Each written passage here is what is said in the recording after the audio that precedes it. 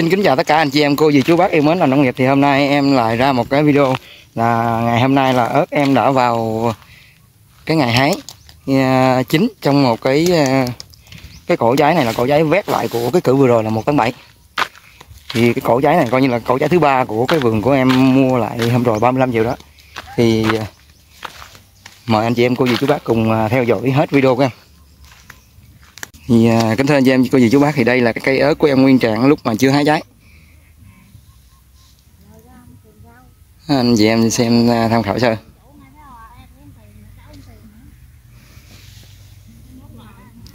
Đó, đây là một số cây chưa hái trái. Này nữa nè.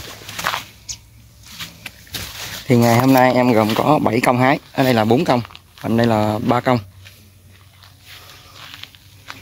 thì hái từ à, lúc à, 8 giờ đến thời điểm này là 11 giờ.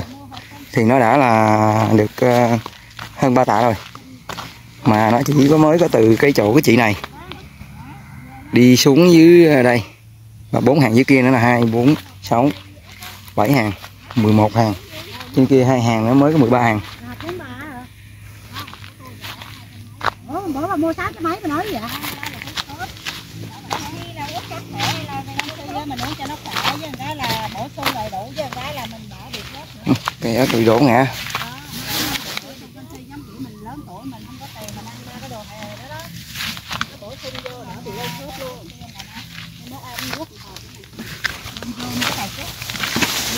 cái bị.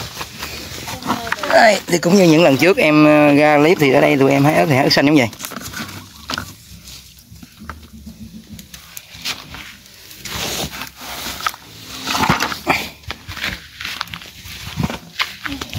Đây là cái bà châu châu đó. Minh Châu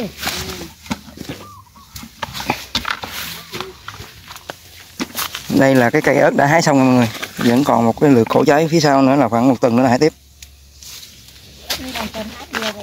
À tuần nữa hái rồi hả chị? À,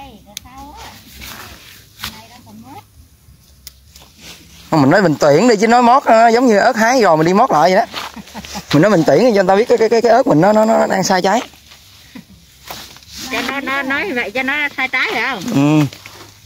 chứ mình nói mình mót cái cảm giác như mình đang đi mót lại cái cây ớt hái rồi á.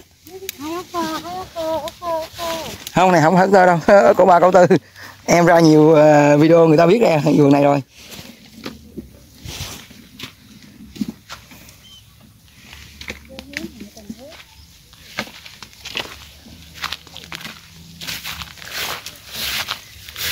Bữa nay tiễn không bên Hàn Quốc về nói nói anh đi thì quay cái đầu đừng có quay cái mình nói này để nó có chị này chỉ nói là chỉ là công từ Hàn Quốc để về đây để hái ớt.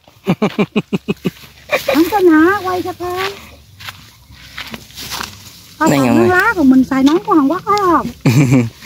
Mấy chị là có cái nón rất da độc nha mọi người? Đó mát cực kỳ mát. Mắt cực kỳ luôn. Để cho em mượn coi cái coi. À cái viền ngoài mà. Ở trong vẫn cái nón lá bình thường em bữa nói đát cho bay về qua nghe ra dạ. Mua cho vợ một cái. Ừ, vợ em đâu cần tới đó là nó vẫn trắng mà. Nó mát hay chứ nó mát thôi chứ đâu đi làm cái này đâu càng trắng cái em chỉ càng tiền thôi à. Youtube em đang làm youtube mà. Là những cái video trên trên ờ, youtube chị coi đó. Là là bữa giờ là có được tiền không anh? Chưa còn một ngàn ờ, hai trăm giờ nữa em mới được bật chế độ kiếm tiền. Ủa đang đang quay đó hả? Hả? Trời đất mẹ ơi. Ông lên tivi vậy luôn đó hả? Dạ.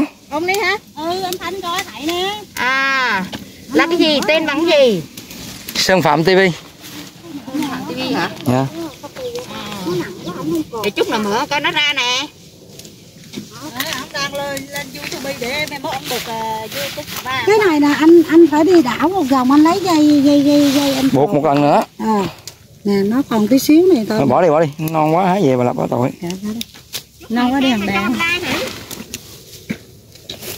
rồi ta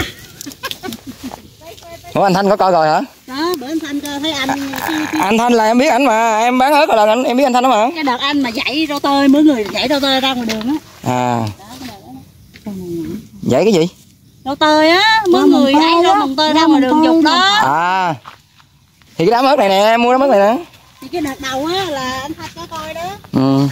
là lúc là đang mấy người làm cô công cơ giật á. À